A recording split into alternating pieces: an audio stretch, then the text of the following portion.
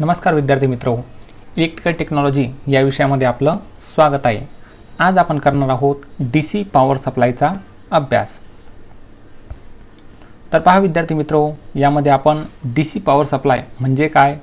D C power सप्लायची आवश्यकता कुठे असते? रेक्टिफायर म्हणजे काय? रेक्टिफायरचे प्रकार.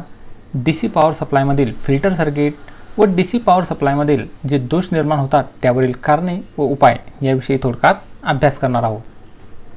तर पहा विद्यार्थी मित्रो डी सी पॉवर सप्लायचा अभ्यास करण्यापूर्वी आपण जे इलेक्ट्रिकल करंटमध्ये दोन प्रकार पडतात त्याविषयी थोडक्यात माहिती घेऊ. तर बघा इलेक्ट्रिकल करंटमध्ये दोन प्रकार असतात. एक ए सी करंट आणि दुसरा D C current A C current म्हणजे अल्टरनेटिंग करंट व डी सी करंट म्हणजे डायरेक्ट करंट जो करंट आपली दिशा व किंमत सतत बदलत असतो त्याला म्हटलं जातं अल्टरनेटिंग करंट व जो करंट आपली दिशा व किंमत न बदलत सरळ वाहतो त्याला म्हटलं जातं डायरेक्ट करंट तर पहा मित्र हो एका सायकलद्वारे आपण ए सी व डी सी करंटचा अभ्यास करू. तर हे बघा हा ए सी करंट आहे. हा सायकलमध्ये अशा पद्धतीने वाहतो. म्हणजे हा त्याची किंमत व दिशा सतत बदलत असतो. परंतु जर आपण डायरेक्ट करंट बघितला तर हा त्याची दिशा व किंमत न बदलता अशा पद्धतीने सरळ वाहतो. तर पहा मित्र जो ए सी करंट आहे आपल्याला जी वीज वितरण करणारी कंपनी असते जी आपल्या घराला विजेचा पुरवठा करत आहे साधारणतः तिच्याकडून होणारा जो वीज पुरवठा असतो हा ए सी करंट असतो. त्याचप्रमाणे ए सी करंट हा आपण अल्टरनेटरकडून सुद्धा मिळवता येतो. आणि जो डी सी करंट असतो डी सी करंट मिळवण्यासाठी आपल्याला बॅटरीचा आधार घ्यावा लागतो किंवा जनरेटर किंवा रेक्टिफायर यांच्या माध्यमातून आपण डी सी करंट मिळवू शकतो. ए सी करंट हा जास्तीत जास्त ठिकाणी वापरला जातो. परंतु डी सी डी हा खूप कमी ठिकाणी वापरला जातो. डी सी हे तसं म्हटलं गेलं तर आर्थिकदृष्ट्या निर्मिती करणे हे परवडत नाही. कारण ज्या बॅटरी असतात ह्या बॅटरी ह्या काही कालावधी नंतर निकामी होऊन जातात. शिवाय याच्यापासून मिळणारा जो व्होल्टेज असतो हा सुद्धा खूप कमी असतो. त्याच्यामुळे बॅटरी किंवा जनरेटर हे आर्थिकदृष्ट्या परवडत नाही. तर आर्थिकदृष्ट्या परवडतो तो रेक्टिफायर. तर चला आता पुढे आपण रेक्टिफायरचा अभ्यास करू. तर पहा डी सी पॉवर सप्लाय म्हणजे काय?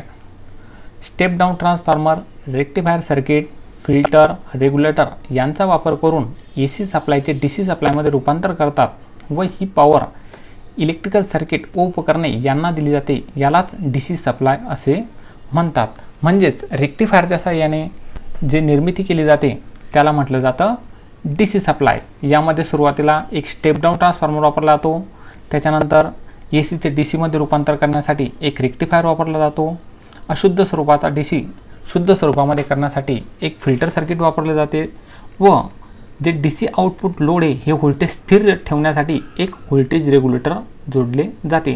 तर साधारणत जो ट्रान्सफॉर्मर असतो ट्रान्सफॉर्मरच्या इनपुटला ए सी सप्लाय दिला जातं व आउटपुटला आपल्याला डी सी सप्लाय मिळतो. तर अशा पद्धतीने डी सी सप्लायची निर्मिती ही रेक्टिफायरच्या साह्याने केली जाते. तर पहा मित्र, ह्या डी सी सप्लायची आवश्यकता कुठे असते? तर जे इलेक्ट्रॉनिक सर्किट असतात, त्या इलेक्ट्रॉनिक सर्किटमध्ये हे ऑपरेट होण्यासाठी डी सी सर्किटची आवश्यकता असते. आपल्या घरात जी इलेक्ट्रॉनिक्स उपकरणे असतात, व ज्याच्यामध्ये हे इलेक्ट्रॉनिक सर्किट असतात, हे सुद्धा ऑपरेट होण्यासाठी डी सी सप्लायची आवश्यकता असते. जे इलेक्ट्रॉनिक सर्किट आहेत, किंवा जे उपकरणं आहे यांच्यामध्ये डी सी सप्लाय हा वापरला जातो, किंवा तिथे डी सी सप्लायची आवश्यकता असते. त्याच्यानंतर जे मोठमोठे सबस्टेशन असतात किंवा ट्रान्समिटर शटर असतात त्याच्यामध्ये जे रिले असतात ते रिलेसुद्धा ऑपरेट होण्यासाठी डी सी सप्लायची आवश्यकता असते. रेल्वे किंवा लिफ्टमध्ये अशा जड कामांमध्ये सुद्धा डी सी हा मोठ्या प्रमाणात वापरला जातो. लोकोमोटिव्ह ट्रेनमध्ये ज्या डी सी मोटर असतात त्या डी सी मोटरसुद्धा ह्या डी सी सप्लायवर कार्य करतात. म्हणून इथे ए सीचे डी सीमध्ये रेक्टिफायरच्या माध्यमातून रूपांतर केले जाते. व त्या डी सी मोटर ऑपरेट केल्या जातात. त्याच्यानंतर ज्या बॅटरी असतात टू व्हीलर फोर व्हीलर किंवा आपली जी इन्व्हर्टरची बॅटरी असते ते सुद्धा चार्जिंग करण्यासाठी डी सी सप्लायची आवश्यकता असते. इलेक्ट्रोप्लेटिंगच्या कामासाठी इलेक्ट्रोप्लेटिंग म्हणजे एका धातूच्या दुसऱ्या धातूवर मुलामा देण्याची जी प्रक्रिया असते तिला म्हटलं जातं इलेक्ट्रोप्लेटिंग त्याच्यामध्ये सुद्धा डी सी सप्लायची आवश्यकता असते. तर पहा मित्र आता रेक्टिफायर म्हणजे काय मग? तर पहा ए सी सप्लायचे डी सी सप्लायमध्ये रूपांतर करण्याची जी प्रक्रिया असते तिला म्हटलं जातं रेक्टिफिकेशन व जो घटक ए सी सप्लायचे डी सी सप्लायमध्ये रूपांतर करतो त्याला म्हटलं जातं रेक्टिफायर बघा मित्र ह्या दोघा व्याख्यांमध्ये थोडाफार फरक आहे. म्हणजे जे ए सीचे डी सीमध्ये कन्व्हर्शन करण्याची जी प्रक्रिया आहे तिला म्हटलं जातं रेक्टिफिकेशन व ए सीचे डी सीमध्ये रूपांतर करण्यासाठी जो घटक वापरला जातो त्याला म्हटलं जातं रेक्टिफायर तर बघा अशा पद्धतीचा रेक्टिफायर असतो. त्याच्यानंतर आपण पाहणार आहोत रेक्टिफायरचे प्रकार. तर बघा रेक्टिफायरचे दोन मुख्य प्रकार पडतात. एक हाफ वेव्ह रेक्टिफायर आणि दुसरा full wave rectifier full wave रेक्टिफायरचे दोन प्रकार पडतात. एक सेंटर डॅप रेक्टिफायर आणि दुसरा ब्रिज रेक्टिफायर तर पहा मित्र जो हाफ वेव्ह रेक्टिफायर असतो ह्या हाफ वेव्ह रेक्टिफायरमध्ये फक्त एकच डायोड वापरला जातो. जो सेंटर टॅप रेक्टिफायर असतो याच्यामध्ये दोन डायोड वापरले जातात व जो ब्रिज रेक्टिफायर असतो त्याला चार डायर वापरले जातात. तिघं रेक्टिफायर सर्किटमध्ये जो ट्रान्सफॉर्मर असतो तो स्टेप डाऊन ट्रान्सफॉर्मर वापरला जातो. हे बघा इथे सुद्धा स्टेप डाऊन ट्रान्सफॉर्मर वापरला आहे. इथे आणि इथे. तर पहा मात्र हो जे हा फेव रेक्टिफायर असतो या रेक्टिफायरमध्ये ए सी सायकलपैकी फक्त अर्ध्या सायकलचे टी सीमध्ये रूपांतर केले जाते. म्हणून ह्या रेक्टिफायरला हा फेव रेक्टिफायर असं म्हटलं जातं. याची कार्यक्षमता जवळपास चाळीस टक्के असते आणि याच्यापासून जो मिळणारा डिश असतो हा सुद्धा थोडा अशुद्ध प्रकारचाच असतो परंतु याला शुद्ध करण्यासाठी फिल्टर सर्किट लावावे लागते.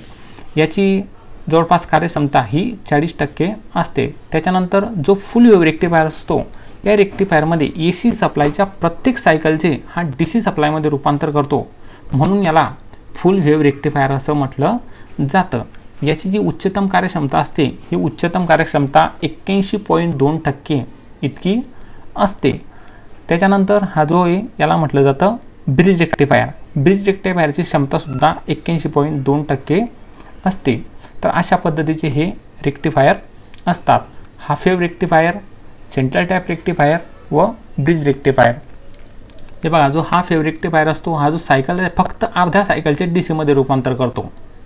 परंतु जो फुल रेक्टिफायर असतो फुल वेव रेक्टिफायर हा पूर्ण सायकलचे डी सी सप्लायमध्ये रूपांतर करतो. तर अशा पद्धतीचे हे रेक्टिफायर असतात. Half wave rectifier central tap rectifier आणि ब्रिज रेक्टिफायर त्याच्यानंतर रेक्टिफायरमध्ये जे मी तुम्हाला सांगितलं त्याच्यामध्ये प्रामुख्याने जो ट्रान्सफॉर्मर वापरला जातो तो अशा पद्धतीचा स्टेप डाऊन ट्रान्सफॉर्मर असतो. हा साधारणतः बारा झिरो बारा किंवा आवश्यकतेप्रमाणे हा वापरला जातो. त्याच्यानंतर रेक्टिफिकेशन प्रक्रियेसाठी जो सर्वात महत्त्वाचा घटक वापरला जातो तो म्हणजे हा डायोड डायोड हा फक्त फा फॉरवर्ड बायस पद्धतीने जर आपण डायोडची जोडणी केली तरच सर्किटमधील मधील करंट वाहण्याला हा कमीत कमी विरोध करतो व करंट वाहू देतो. याची जर जोडणी आपण रिव्हर्स बाय पद्धतीने केली तर हा सर्किटला जास्तीत जास्त विरोध करतो व करंट वाहू देत नाही. म्हणून याच्यामध्ये हा जो गुणधर्म आहे या गुणधर्मावरूनच डायोडचा उपयोग हा रेक्टिफायरमध्ये केला जातो.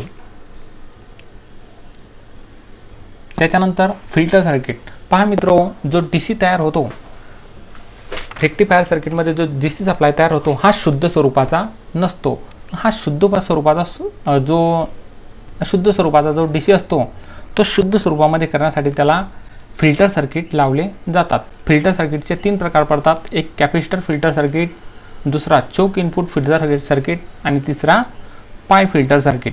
तर बघा याच्यामध्ये रेक्टिफायरनंतर एक कॅपॅसिटर लावला जातो. जे कॅपॅसिटर फिल्टर सर्किट असतं याच्यामध्ये रेक्टिफायर व लोड याच्यामध्ये एक कॅपॅसिटर लावला जातो. याला म्हटलं जातं कॅपॅसिटर फिल्टर सर्किट. जे choke input circuit filter circuit असतं याच्यामध्ये रेक्टिफायर आणि लोड याच्यामध्ये एक इंडक्टर जोडला जातो आणि एक कॅपॅसिटर जोडला जातो. व जो पाय फिल्टर सर्किट असतो याच्यामध्ये रेक्टिफायर आणि लोड याच्यामध्ये दोन कॅपॅसिटर वापरले जातात. हे बघा कॅपॅसिटर क्रमांक एक आणि कॅपॅसिटर क्रमांक दोन व एक इंडक्टर याच्या सिरीजमध्ये जोडली जाते. तर अशा पद्धतीचे हे तीन फिल्टर सर्किट रेक्टिफायरमध्ये वापरले जातात. त्याच्यानंतर जे डी सी पॉवर सप्लाय असतो कधी कधी डी सी पॉवर सप्लायची आपण निर्मिती करताना काही दोष निर्माण होतात. तर पहा बऱ्याच वेळेला पॉवर सप्लाय ऑन होत नाही. तर अशा वेळेला काय कारण असू शकतं? तर ए सी सप्लाय मिळत नसेल मग अशा वेळेला आपण ज्या ट्रान्सफॉर्मर असतो त्या ट्रान्सफॉर्मरच्या ए सी सप्लाय पुरवठा करणाऱ्या ज्या वायर असतात ह्या आपण चेक करून घेतल्या पाहिजे. त्याच्यानंतर बऱ्याच वेळेला आपण डी सी सप्लायची निर्मिती करताना आउटपुटला आपल्याला डी सी सप्लाय मिळत नाही. तर अशा वेळेला काय कारण असू शकतं? तर ए सी सप्लाय मिळत नसेल किंवा स्टेप डाऊन ट्रान्सफॉर्मरचे आउटपुट व्होल्टेज हे व्होल्टेज मिळत नसेल रेक्टिफायर सर्किट काम करीत नसेल किंवा मग रेक्टिफायर सर्किटमध्ये रेग्युलेटर काम करीत नसेल. जर ए सी सप्लाय मिळत नसेल तर A C wire A C सप्लायच्या wire आपण चेक केल्या पाहिजे. त्याच्यानंतर जर स्टेप डाऊन ट्रान्सफॉर्मरचा आउटपुट व्होल्टेज मिळत नसेल तर स्टेप डाऊन जो ट्रान्सफॉर्मर आहे याचा आउटपुट व्होल्टेज आपण मल्टीमीटरच्या साहाय्याने किंवा व्होल्टमीटरच्या साहाय्याने आपण चेक केलं पाहिजे. तर हे याच्यामध्ये साधारणतः कारणे निर्माण होतात. थँक्यू